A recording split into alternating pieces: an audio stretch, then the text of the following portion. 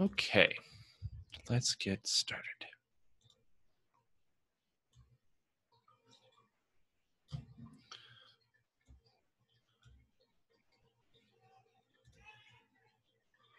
All right, I assume you guys can all see this here. It's shared correctly.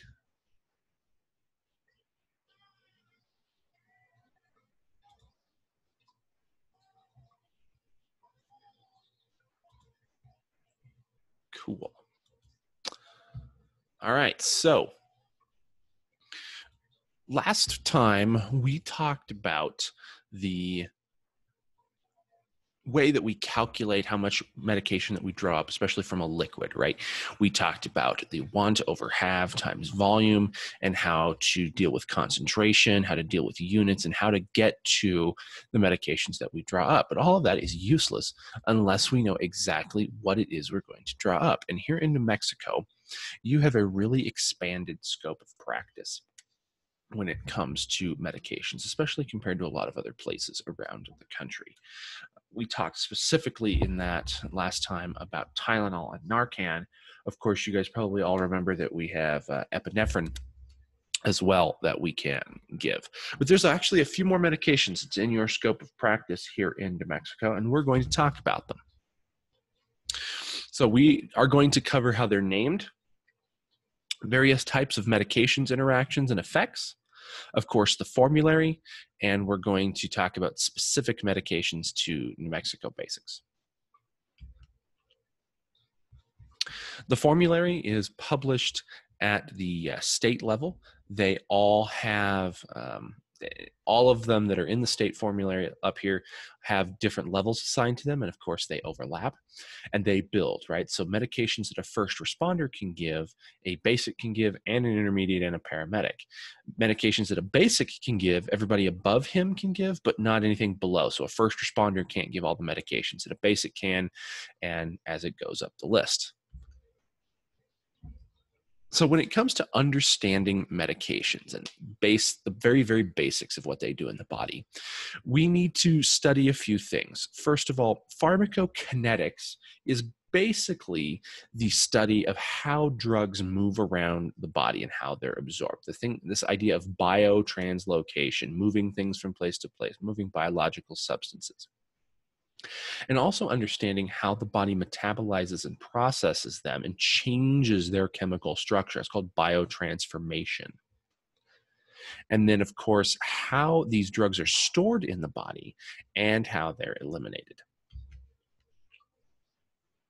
Medications can have many, many different names. Um, the first one that you may have encountered was Narcan versus naloxone, but it's got even more medication names out there. The very, very first name given to any drug is its chemical description. Um, and you see some examples up here. These are given to them and these define through a very set series of rules the chemical structure. So, like this glycerol trinitrate, okay, and this 3-dihydro 1-methyl 5-phenyl 2H1. Okay, that that gives a specific structure in mind uh, when when a scientist is building this chemical and once once they figure out the structure and name it. Of course, there's the official name, right? That is the name under which the drug is listed in the USP in whatever official uh, publication it's going to be in. And then the two that we are probably the most familiar with are the trade names and the generic names.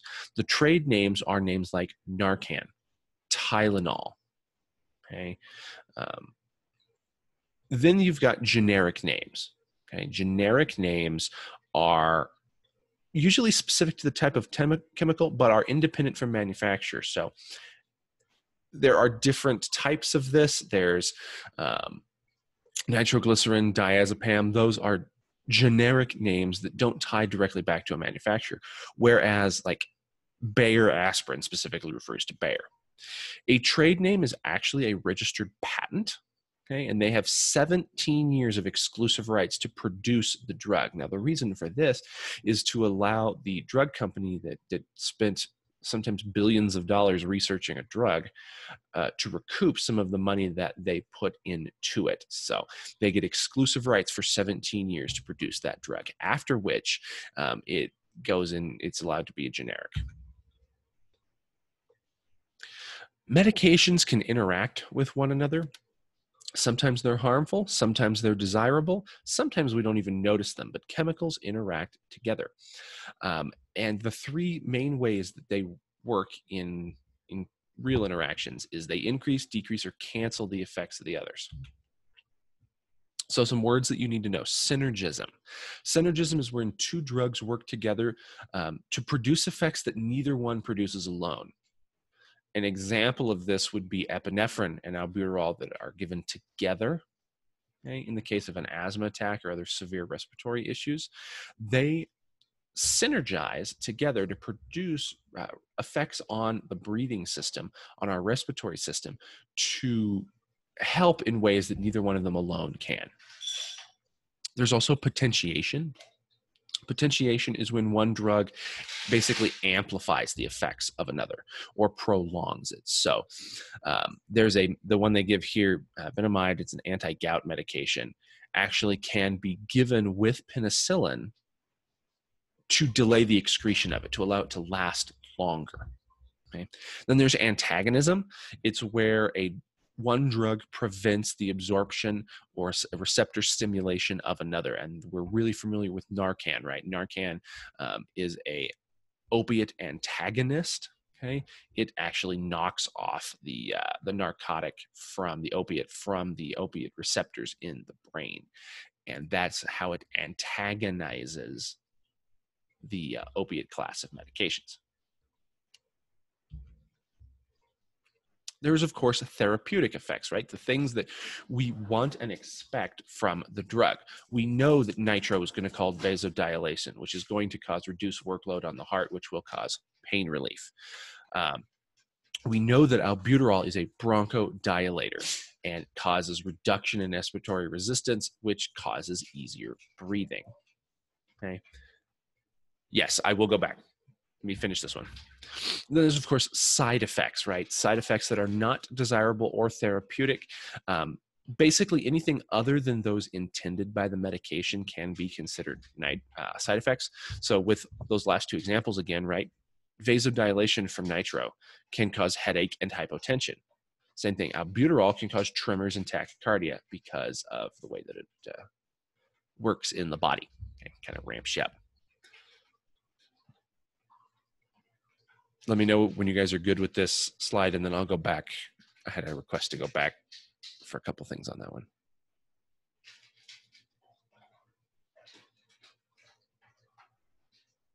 Aiden, I don't think this PowerPoint is on Moodle, but I'm recording this lecture, so I will post it up for you guys.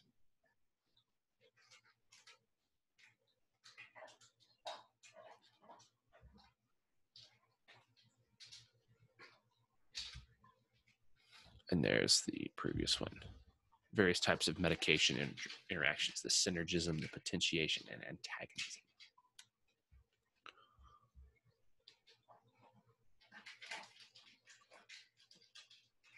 Guys can probably hear my dogs munching on their breakfast in the background.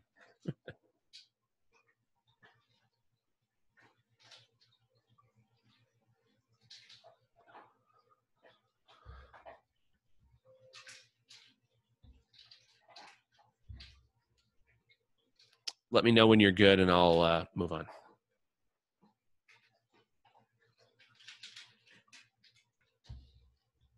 Awesome. Okay, and then there are, of course, toxic effects on the body. These aren't just, well, they are undesirable, of course. They're not just inconveniences, right? These are things which can actually harm a patient, their health or their life. Um, they can be from the drug themselves or from the patient, or they can be something like an allergic reaction. They may also classify into an exaggeration of the therapeutic effect, right? So there are medications that have very narrow, what we call therapeutic windows, very narrow uh, stretches of dosage where we actually get the desired effect that we want. And if we take too much of it, too much of a good thing actually can harm the patient. Okay. One example of a toxic effect would be uh, aspirin, right? And because of its elimination of platelet clumping, it's an antiplatelet drug. you actually can, if you have an active GI bleed, that can cause hypovolemia and shock. That would be an example of a toxic effect. There are other medications that can cause toxic effects, things like digoxin, which is a more advanced cardiac medication. If you take too much of it, um, you actually get cardiotoxic effects. So, toxic effects are something that we have to be aware of. All medications have them, it just depends at what dose and what concentration in the body that will occur. So when we talk about medications, we've got to get uh, some terminology in place. I think dose is something that we're all familiar with. It's the amount of medication that we are going to give a patient to obtain a certain therapeutic effect. Okay? And an indication is under what circumstances do we give this drug? Okay, so an indication for Narcan would be an acute opiate overdose. An indication for epinephrine, one of them, would be a you know, anaphylactic reaction. Then there are contraindications. We have two subcategories of a contraindication. There's a relative and absolute contraindications. So, relative contraindications are things that increase risk involved with a particular medication. Okay, um, there's a medication out there that we use in EMS called ketamine, right? And it has a relative contraindication of somebody that has schizophrenia because there is some evidence to show that uh, the ketamine can actually interact with someone's brain that has schizophrenia and make things worse. But that doesn't mean you're not going to give it. A relative contraindication is more of a caution. Be like, hey, you know, think twice before giving this in these situations. And you have to weigh whether or not the the good outweighs the bad. Does the potential for benefit from this medication outweigh these relative contraindications? And then there are absolute contraindications. These are conditions that completely stop you from giving a drug. They, they prohibit the use of this treatment completely. Um, some of the most common ones are allergies, right? So if somebody has a an allergy to a medication, we're not going to give it to them. The one that's listed here, aspirin to an allergic asthmatic, right? You, you wouldn't you wouldn't be doing that. Okay. Then there's the mechanism of action. Okay, the mechanism of action refers to how a medication actually works in the body and the method that it uses, the mechanism that it uses to accomplish its goal. Okay, we'll, so we'll see some examples of those coming up.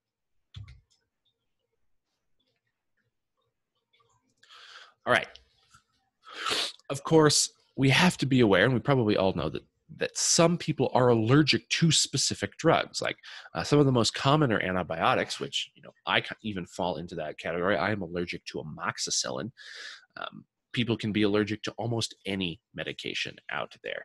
Um, antibiotics, narcotic medications, aspirin, and sulfa drugs are the most common ones.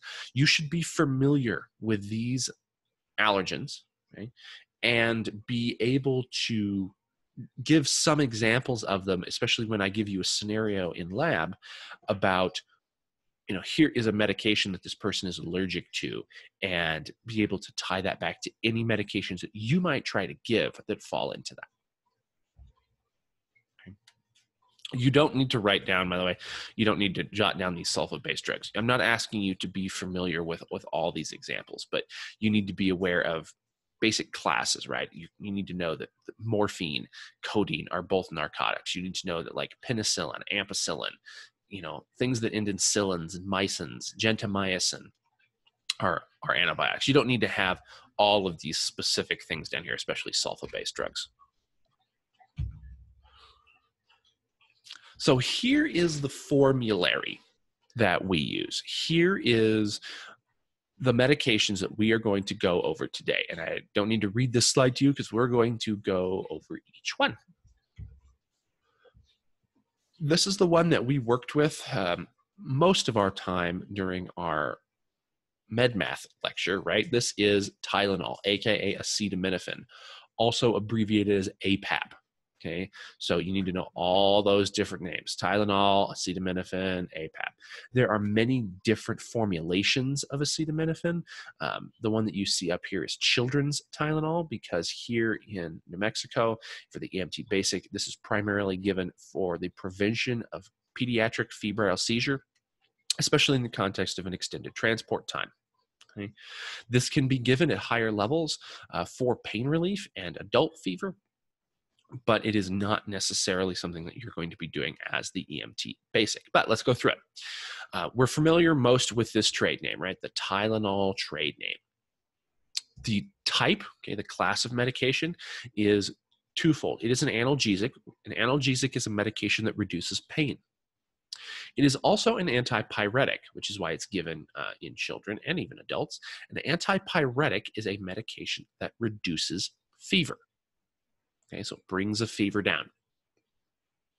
The indications here that we have in New Mexico for, for the EMT basic are uh, febrile kids with extended transport time. This is to prevent a febrile seizure. The route, which is how we give it in the body, right? That is orally. It's done as a liquid suspension, and the child will basically uh, take it in through mouth and swallow it. You need to know the dosages for this. Okay, you need to know the indications, uh, the routes, the dosages, and basically everything after that. So 10 to 15 milligrams per kilogram for acetaminophen. It is a weight based dose, which means you're going to have to convert your patient's uh, weight in pounds to kilograms, multiply it by the dose, and that will give you what your uh, what the doses that you're wanting to give that patient. Of course, if somebody has an allergy to it, we don't want to get it, but also somebody that has liver disease because Tylenol is metabolized and, and can actually cause continued damage to the liver. And in fact, a Tylenol overdose will take out someone's liver, and that is a terrible way to die. So we don't give this to patients that have liver problems. Some common side effects are also listed in here. The only one really that we have to be aware of for Tylenol is rash. That's pretty rare in my experience, though it, it has happened. Okay. Toxic effects, like I mentioned, um, really in overdoses and with existing liver disease, you will see some, some uh, hepatotoxic effects. Any questions on Tylenol?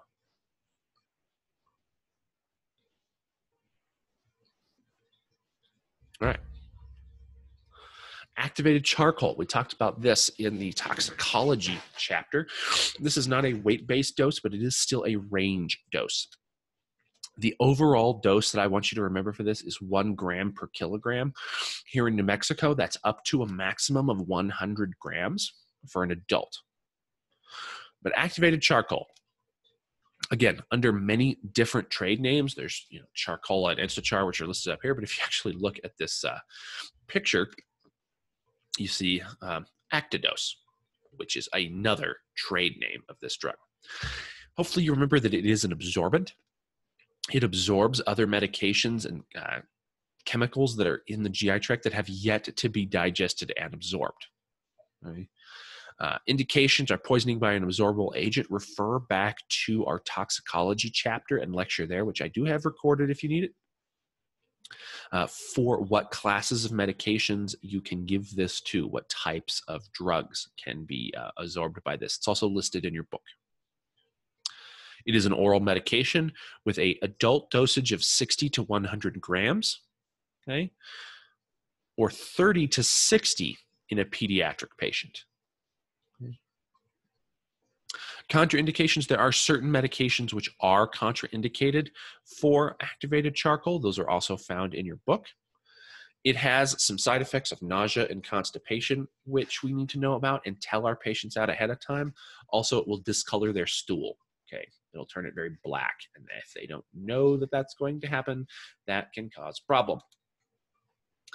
In severe cases, it can actually cause a toxic effect of a bowel obstruction. Okay. And if somebody is, you know, losing consciousness, they can aspirate this, they can breathe it into their lungs, which would also be considered a toxic effect.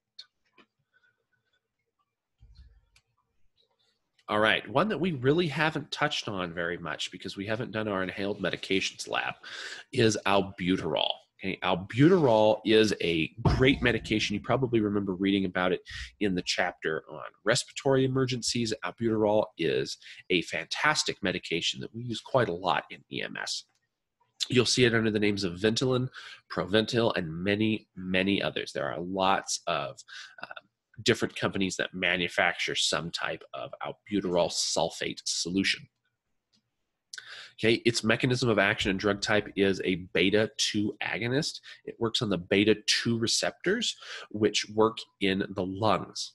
It does this to open up our uh, bronchioles to reduce wheezing, to reduce that constriction. And as indicated in pretty much anything that causes wheezing, right? So, general wheezing, asthma, and COPD. Of course, asthma and COPD being the top two that we give it for. Um, it works very, very well, especially when you mix it with another drug, which we'll talk about later, ipratropium bromide. It is given as an inhaled medication, a specifically a nebulized medication generally, though we probably are also familiar with it in a metered dose inhaler, an MDI, that causes someone to inhale a fine powder of it. In EMS, we most commonly give it as a nebulized solution, which is why our dose is two and a half to five milligrams in three milliliters of saline. So the vast majority of the time, you will see albuterol in these bullets. Okay, we call them here in the upper right hand corner, right? We've got these bullets. And it's gen those are generally 2.5 milligrams each in one and a half milliliters of saline. So that would be the concentration. It would be 2.5 in 1.5. The reason that it's formulated that way is most of the time for an adult, they're going to get five milligrams. And so when you mix two of these together, you get your three mLs of saline, which fits quite nicely in a nebulizer. I did a video of the inhaled medications lab and that skill that I will be posting for you guys so that you can see how those work before we get back into it um, in our labs when we go back in person. Of course, contraindications for albuterol are present. There's the ever present allergy contraindication. Just consider that to always be there. Um, and then we have to be careful if they're taking other beta 2 agonists, if they've taken doses of their own albuterol inhaler or other beta 2 agonists.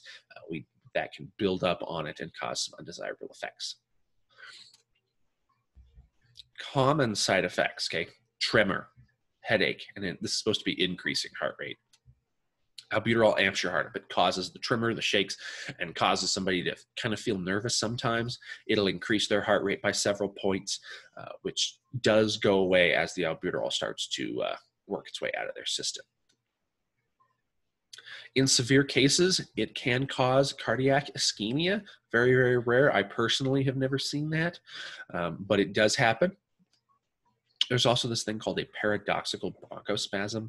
A paradoxical bronchospasm is where you have the opposite effect of what you expect. So we normally expect albuterol to open up the lungs. Well, in a paradoxical bronchospasm, it can cause them to shut down again. Fortunately, that's also pretty rare.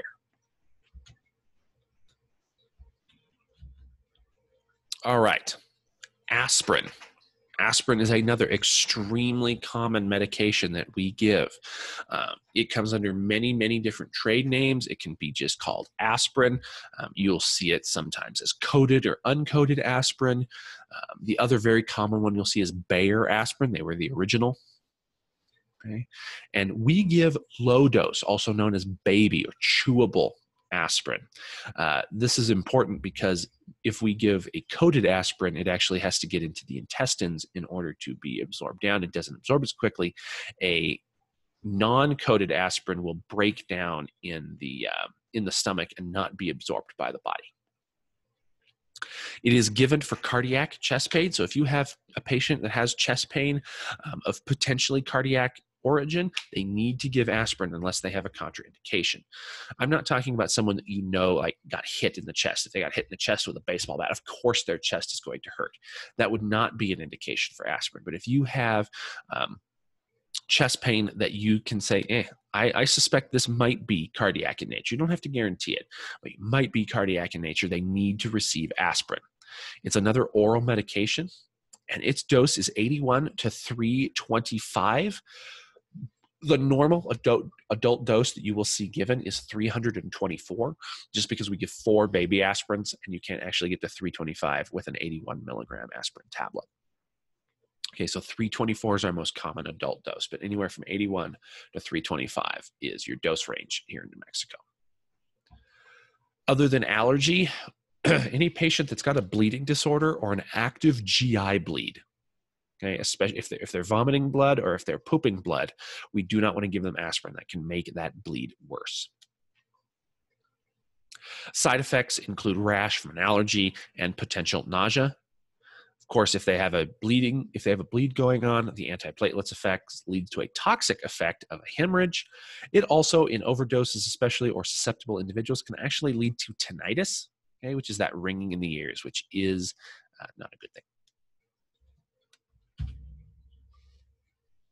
All right, so epinephrine for the EMT basic here in New Mexico. You will see it in, in scope here as one milligram per ml. We've seen those uh, these vials in lab. Okay, these are the ones you have to break open, use the uh, the filter straw to get them out. You'll see it under a trade name of adrenaline, though the vast majority of the time it's just packaged as epinephrine. Okay. We're looking for a 1 to 1,000 concentration. It is a sympathomimetic drug, which means it works on the sympathetic nervous system and it is indicated for anaphylaxis and extreme asthma, also known as asthma extremis. Those it's basically uncontrolled asthma that hasn't been able to be fixed through another route. Uh, presents very similar to the breathing of anaphylaxis. We give it as a subcutaneous injection here in New Mexico, but for the EMT basic, you must attempt online medical control. In an emergency, if you cannot contact medical control, we can go ahead and give it, but we have to at least attempt first. And you either use an auto injector for it, or you have to use a 0.3 ml syringe, like the insulin syringes that we used in lab. Those are 0.3 ml, also known as a dose limiting syringe. Okay. Our dose for this is 0.3 milligrams, okay, 0.3 milligrams for an adult. It is contraindication in a patient having a hypertensive crisis. That's what HTN stands for, a hypertensive crisis, and in patients that have pulmonary edema. Known side effects are tachycardia, headache, and hypertension, which is why we don't give it when somebody already has hypertension. Okay? And at higher dosage, it can cause lethal dysrhythmias because it works directly on the heart, and it can cause cardiac ischemia um, by having the heart work harder. Any questions on epinephrine?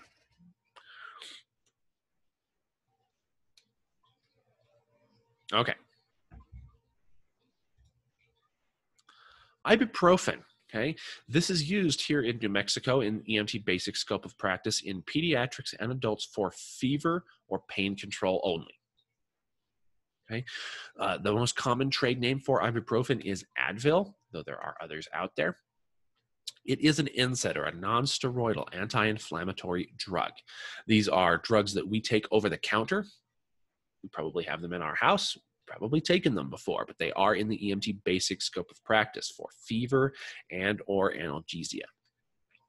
These two are given through an oral route, either as a pill or as a liquid children's um, suspension. The dosage for an adult is two to 400 milligrams. So generally, and these these um, reddish ones that are up here are probably what you're familiar with the most. These are what's sold in bulk. And these are 200 milligram tablets. So one to two of those tablets. In PEDS, it's another uh, weight based dose. It is 10 milligrams per kilogram. So once again, you have to convert their weight to kilos and then multiply by this dosage. The contraindications for this, an active AMI, so if you suspect that someone um, is having a heart attack, we don't want to give them ibuprofen. And then this is for uh, all NSAIDs as well. Any active GI bleed, ulcers, or of course, allergic reactions. Side effects you see listed headache, hypertension, it can increase as a toxic effect it can increase the risk of thrombosis okay? Can cause a clot to form and it can cause congestive heart failure in certain patients. Though once again this is a pretty rare effect. All right i promised it. Ipratropium bromide. Ipratropium bromide is sold under the trade name of atrovent Okay? It is an anticholinergic medication, and it is actually used mostly in conjunction with albuterol uh, during a respiratory issue, specifically asthma, a lot of the time. And it causes everything to dry up. It is given in those cases to dry up the secretions and the gunk and the mucus that forms in our bronchial passages. So it works together with albuterol albuterol causes the bronchial passages to open up and relax, and the ipratropium bromide or Atrovent causes the uh, bronchioles to dry out and get rid of the uh, mucus that can form during these attacks, which will cause even easier breathing. It too is usually in a uh, bullet form, okay? And Generally, we give it in 500 microgram, or as you'll see it more commonly referred to, 0.5 milligrams. Okay, so 0.5 milligrams for an adult and 0.25 milligrams for pediatrics. Though you can remember it however you want, just know, just be able to remember that 500 micrograms is half of a milligram, and 250 micrograms is a quarter or 0.25 of a milligram. If a person is allergic to it or atropine, We don't want to give it because of um, atropine and this being the same class of medication. So someone that is allergic to that will probably also be allergic to ipratropium bromide. Of course, its side effects, um, basically anything that anticholinergic medications, they can cause dry mouth, headache, throat irritation, because they just dry everything. And that's what we would expect to see. It has no known toxic effects. Here in New Mexico, you have to give it either with or immediately after albuterol. We don't give it uh, by itself for the EMT basic. Okay, the Mark One kit. This is a auto injector twosome that contains pralidoxime, that 2-PAM, and generally contains atropine. Okay, to work as an anti, what's called an anticholinesterase inhibitor. Okay, um, you'll see these under Mark One. They could be called DuoDotes. Um, those are just names that you'll see them under. Okay, and you'll see up here. Sometimes it's just extremely generic. This says AtroPen auto injector. All right. Um, its indications are nerve agent exposure. Okay, we'll talk a little bit more about those towards the end of the course when we're talking about terrorism and, and other things. But you remember from our tox lecture, we talked about nerve agents and either DUMBELS or what I prefer, the SLUDGEM acronym, which just means that everything is going to be wet. Okay, go back to that lecture or your book if you need to refresh on what SLUDGEM is. The route that we give it is uh, through an auto injector okay, here in New Mexico.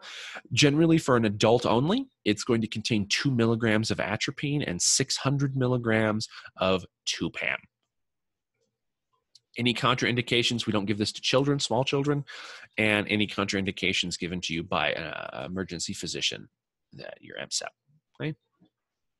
It has no toxic effects when used as indicated, which is good for us. Okay, naloxone or Narcan, another medication you need to know backwards and forwards because it's going to wind up being in a lot of your scenarios. Goes under the trade name of Narcan generally. You may use either one interchangeably. Most people know uh, Narcan. A lot of people know naloxone as well. It is a narcotic antagonist, which means it's going to have a higher affinity for those narcotic receptors in the brain and actually be able to knock them off, which is how it works.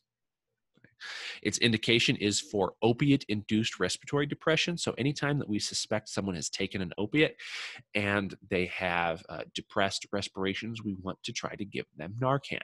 Refer back to your text if you need to know other indications for a narcotic overdose. But of course, the most common is respiratory depression and pinpoint pupils. We can give it through all our major routes subcutaneous, intramuscular, and intranasal. You give it in uh, through an intramuscular route and in a sub-Q route, 0.4 milligrams. Okay, you can give that up to five times to a maximum of two milligrams. You will also give um, two milligrams all at once if you're going to give it through the nasal route. The only known contraindication is an allergy to it. And of course, it can cause nausea and agitation as it takes away their high, uh, but you also will increase their breathing and they live. So kind of a fair trade off. In extreme circumstances, it can cause cardiac dysrhythmias and can cause hypertension, though, once again, as most of these are, it's pretty rare. Nitroglycerin, another really important drug for you to know. Okay? This is something that's given to patients that are uh, suspected of having some type of uh, ischemic chest pain or angina, you'll see this come not only as a generic, just nitroglycerin, but also as something called Nitro-Bid, Nitrostat. Anything that has the word nitro in it, you should be uh, suspicious of having nitroglycerin. Okay. It is considered an anti-anginal or anginal, depending on which way you're going to pronounce that. What it does is it causes the uh, blood vessels in the heart to actually dilate. Okay, and it can cause an increase in blood flow past something, a, a, full blockage or a partial blockage to allow blood flow to be restored to the muscle in the heart, because that's what's causing chest pain. Cardiac chest pain is caused by uh, not enough blood getting to the heart muscle.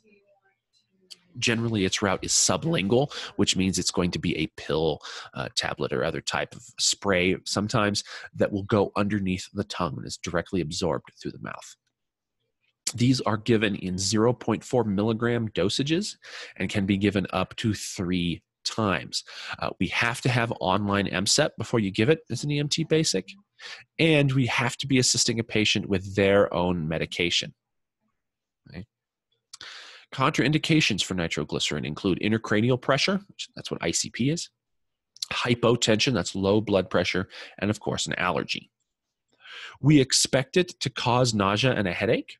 It can also cause syncope or passing out because it does work systemically to cause vasodilation, which can lower systemic blood pressure, and that can cause someone to get uh, get pretty woozy and sometimes even pass out. Of course, in higher dosages and higher amounts, it can actually cause a heart block, which is a, uh, a blockage of the electrical transmission in the heart. It can cause low blood pressure, very low, so hypovolemia shock, even. And of course, decreased heart rate. That's what's supposed to be there.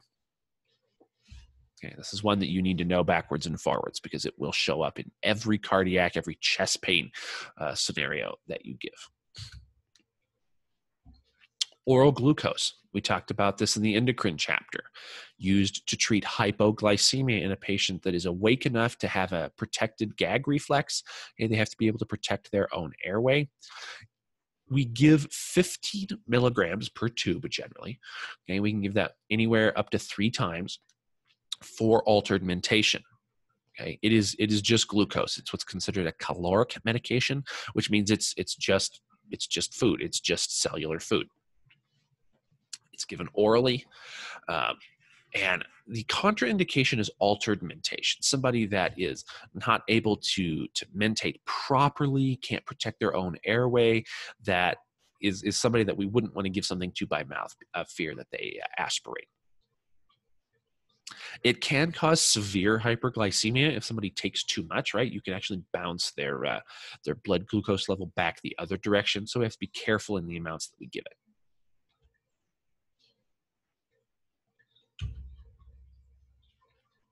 All right, so how do we give these medications? Well, all of them we want to use an aseptic technique. Okay, it's not sterile. We're not trying to get rid of everything, but we want everything to be as clean as possible when we give it. That's why we talk about cleaning the sites before injections, cleaning like uh, the tops of medications. Okay, having gloves on and clean hands before we give it. If we're going to give a medication orally to someone, we want to have clean gloves on. Okay, everything that's sharp, everything that's a needle needs to be disposed of immediately after its use. We don't want to leave them sitting around. We don't want to drop them on the floor. We don't want to stick them in the bench seat. We need to get rid of them right away to prevent a uh, a dirty needle from sticking you. Okay? Know all the routes of administrations for all of these drugs that we talked about in our scope most importantly own mistakes that you make okay i've told most of you about um, you know a med error that I had as a young paramedic. It's it's something that happens. When that happens, you need to take responsibility and you need to call MCEP. Um, you know to find out if there's additional things that you need to do or precautions that you need to take if you accidentally made a med error okay and document it very thoroughly so know your drug dosages. I expect you guys to know the dosages of all these medications that we talked about. Okay. As a brief review, remember that we um, we talked about how to convert pounds to kilos, but what we did not talk about that's really useful in here is the standard method of calculating a child's weight when nobody knows exactly what it is. So in general, age times two plus eight. Okay, so a four year old would weigh how much approximately in kilograms if he's four years old?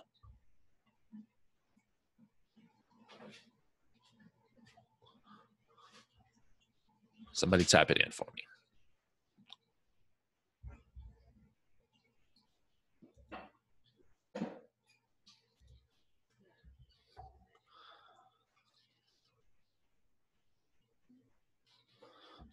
Almost. So it's age times two plus eight. So our order of operations says we do the multiplication first. So if he's four years old, okay, four times two is eight. And then eight plus six. I don't know why I thought 12. That's my bad. You guys are absolutely right. It's 16. I'm an idiot. Never mind. You guys, yeah, never mind. We'll move on. Okay, so if they are five years old, it's going to be the same thing. Age times two is 10 plus eight is now 18 kilos. So this is the quick way to convert it. I expect you to know this. If I don't give you a weight for a pediatric patient, I will tell you um, estimate the child's weight. Okay, and if you see that on a quiz or a test, I expect you to use this formula: age times two plus eight gives you that weight in kilos, not pounds. Okay. If you're given it in pounds, of course, you know that 2.2 pounds equals one kilo. We divide. We talked about that. Um, and we talked about that mass and volume is not the same thing, that one milligram is not the same thing as a milliliter, but that cubic milliliters and cubic centimeters, so milliliters and cubic centimeters, cc and ml, actually are the same thing. They're both measures of volume. And then if you need a quick review on it, this is drug calculations, right? It's your want over have times volume. Refer back to my other video on that if you need a refresher. All right, and that is what I have right now. Um, I will post this video into Moodle along with this PowerPoint. There are some drug calculation practices in here that you can uh, go through if you desire. I encourage you to do that to get the practice. Any questions?